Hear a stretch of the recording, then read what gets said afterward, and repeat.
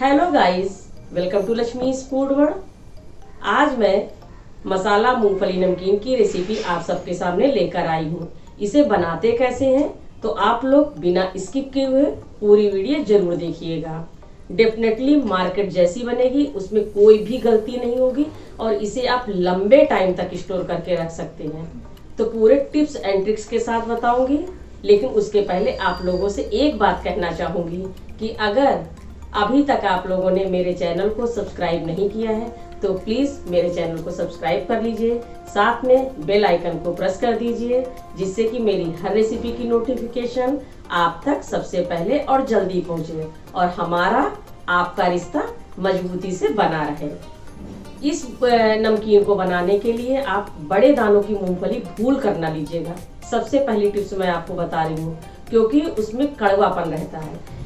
इस मूंगफली को बनाने, या इस नमकीन को बनाने के लिए आप एक घुंघरू नमकीन आते हैं, मूंगफली आती है। उसे आप जब भी लेने जाइए मार्केट में तो आप ये कहिएगा कि मुझे घुंघरू मूंगफली दीजिए, क्योंकि वो मीठी होती है। हाँ छोटी ज़रूर होती है थोड़ा सा लेकिन उसका टेस्ट बहुत अच्छा आता है। तो आप वही मूंगफली ला करके उसी से नमकीन बनाइए। फिर आप देखिएगा कि आपकी नमकीन कितनी बढ़िया बनती है। मार्केट से भी अच्छा अच्छी तो फ्रेंड्स आज की रेसिपी जो है तो आप लोग मेरी वीडियो को बिना स्किप हुए ज़रूर देखिएगा। तो चलिए, बनाना शुरू करते हैं। मसाला मूंगफली नमकीन।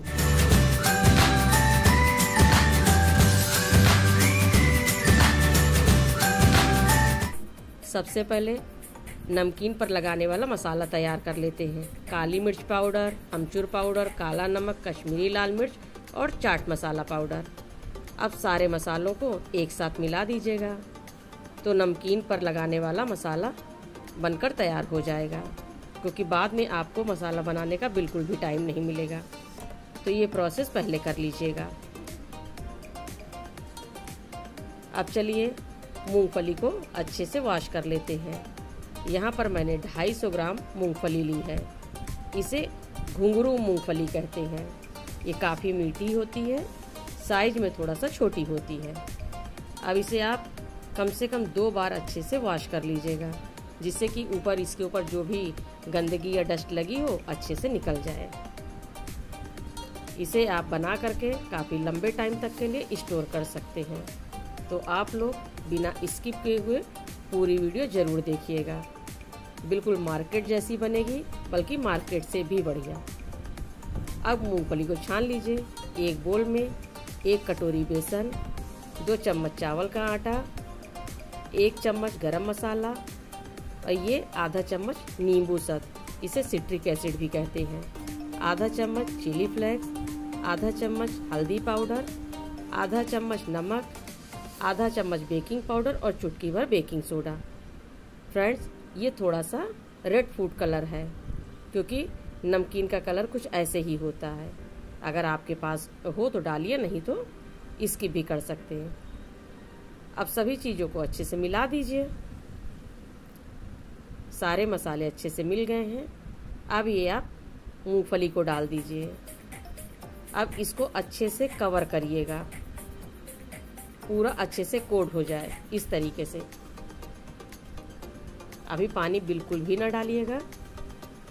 जब अच्छे से मूंगफली कोट हो जाए, तब आप इसमें थोड़ा थोड़ा पानी डाल करके कि सारा मसाला, बेसन मूंगफली पर अच्छे से लिपट जाए। बस इतना ही गीला करना है। आपको कोई घोल कुछ भी नहीं तैयार करना है। अब इसे आप एक बड़े बर्तन में निकाल लीजिए और अच्छे से मिला दीजिए कि सारा बेसन, मसाला मूंगफली पे अच्छे से लिपट जाए। अगर आप इस तरीके से बनाएँगे तो आपको कढ़ाई में एक भी मूंगफली अलग करने की ज़रूरत नहीं पड़ेगी। अब चलिए, तेल को पहले गर्म होने के लिए रख दिया था। एक मूंगफली डालकर चेक करते हैं। बस दो दो मुट्ठी आप इसमें यही कोटेड मूंगफली डाल दीजिएगा और इसे लो टू मीडियम फ्लेम पर ही तलिएगा। छेड़िएगा बिल्कुल भी नहीं। बस हल्का हल्का चम्मच चलाइएगा।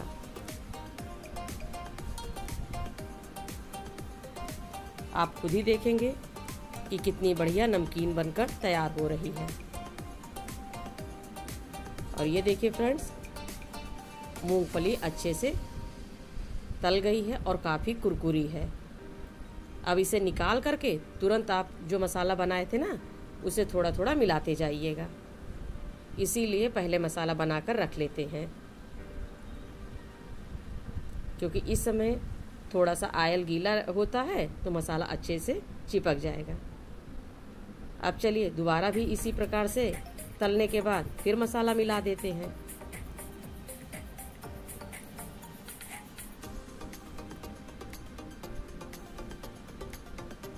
अब बाकी बची हुई मूंगफली इसी प्रकार से हम तल लेंगे।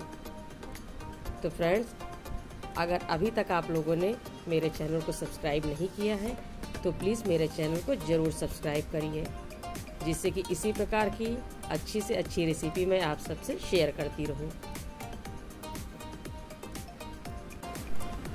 इसे बनाना बहुत ही आसान है। बस थोड़े से टिप्स एंड ट्रिक्स की ज़रूरत है। तो देखिए कितनी आसानी से मसाला, मूंगफली, नमकीन बनकर तैयार हो गई है। और आप देख सकते हैं कि तेल भी कितना साफ़ है और कितनी क्रिस्पी बनी है। मैं आपको इसकी आवाज़ भी सुना रही हूँ। अब चलिए, सभी पर अच्छे से मसाला दीजिएगा। बहुत ही क्रिस्पी बनी है।